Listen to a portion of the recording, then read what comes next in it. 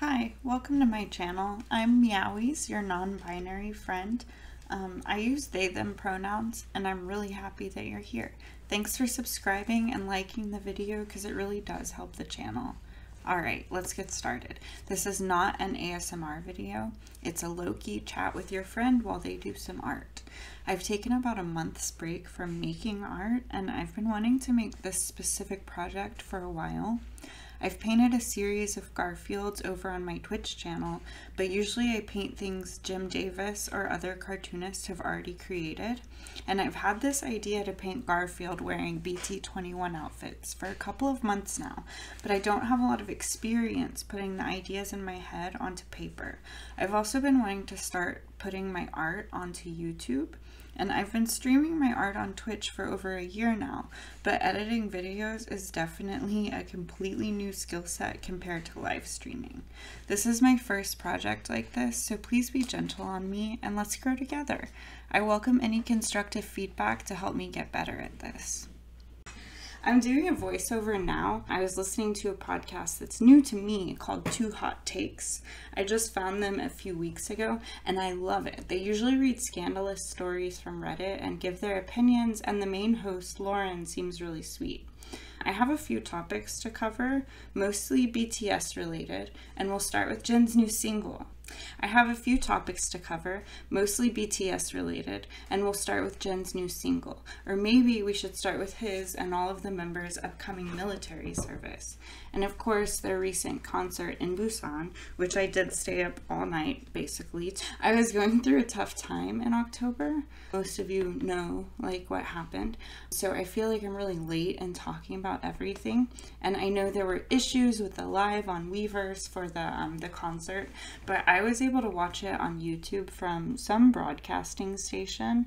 Unfortunately, I cannot remember which one.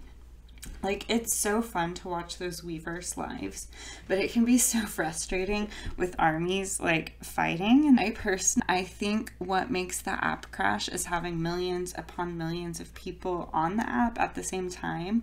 But there are so many armies who will comment, like, don't comment army don't comment. Like commenting makes the app crash. And then there are so many armies who are like you know saying the opposite. They're like it doesn't make it crash it doesn't make it crash. Like it's just fighting about chatting in the chat which can be you know, I hope it's okay to say that. Of course, it doesn't mean that I don't love BTS, and um, I think it's great that Weverse like gives us a way to watch this stuff live. Okay, so Jin's new single is incredible. I feel like it was such a nice gift to Army before he begins his military service, and I really felt the love in his video. And to me, it felt like Army was represented by the child while he's teaching her to ride a bike, and eventually she's able to do it on her own.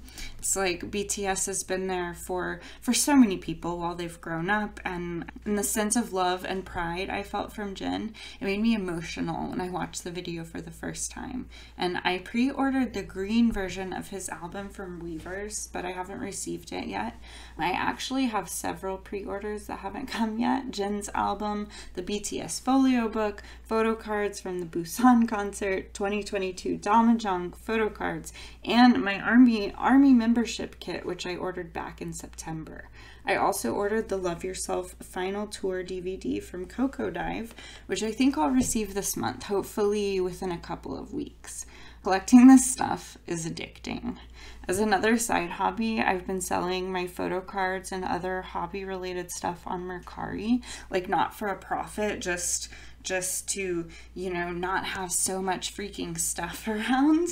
And that is what helps me afford afford these things basically. I have a sign up code for Mercari, which I'll put in the description box if anyone is interested. Um, you can get up to $30 off, I think. And I really like Mercari because you can find basically anything that you want on there. But I found some, some of my favorite pieces of my collection on there.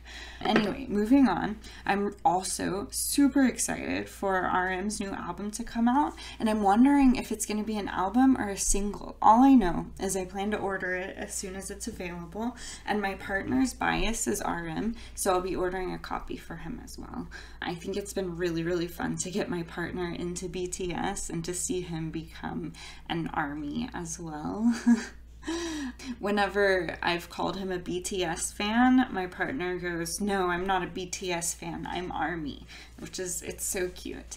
Um, changing the topic, but still sort of related. I was in Paris recently for work and I had a little time to sightsee.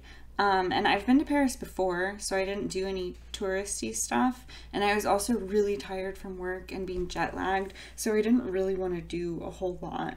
Um, mostly I just had room service a lot and like watched a ton of YouTube on my phone in my bed in the hotel room. But it was it was really nice, and that was what I needed. And you know that is okay.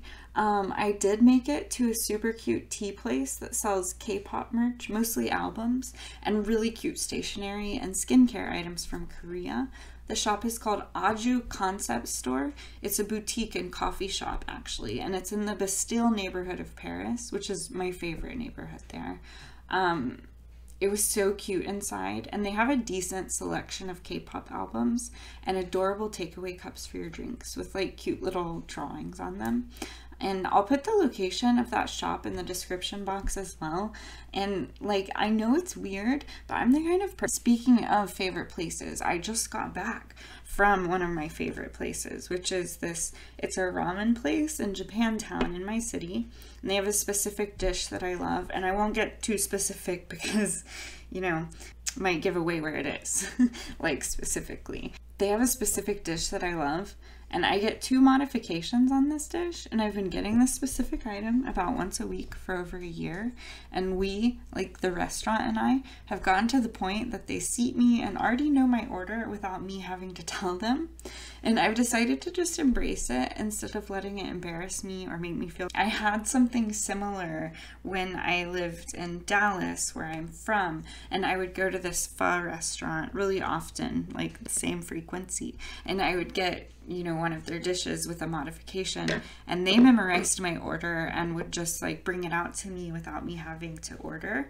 And the same thing happened at a coffee shop that i used to go to regularly. Like they would already have my drink made for me by the time the line but when that happens like you're stuck with your order forever. Like they you know you can't ask for something else or you're wasting whatever they made you. But um, at this particular restaurant i do go there for this dish in particular. And so i am actually really happy that they've memorized my order it's really nice. Okay, so there was one other thing which I wanted to talk about that's like kind of bugging me.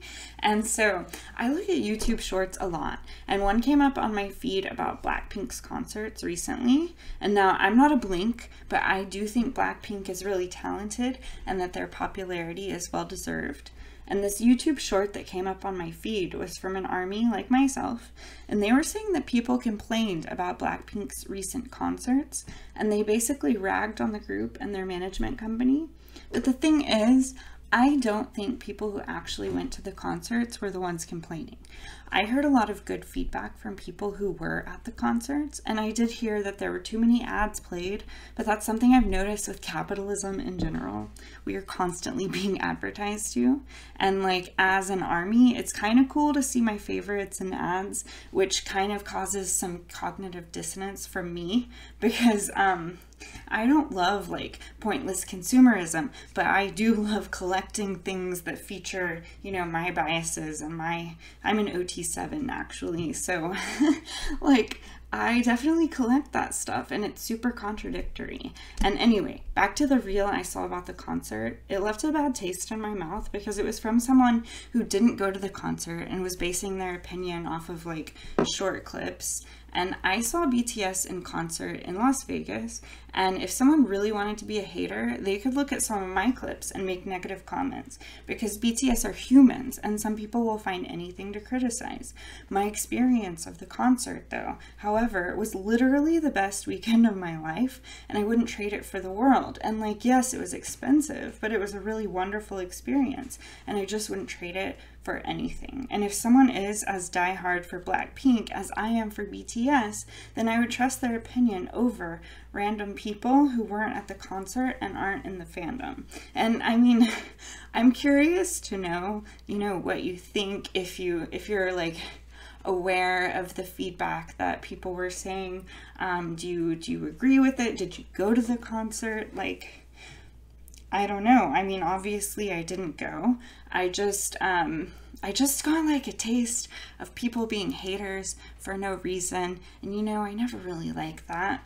Um and if you've if you've stuck around this long, thank you. Please consider subscribing, um, like the video. Like it really does help with the algorithm.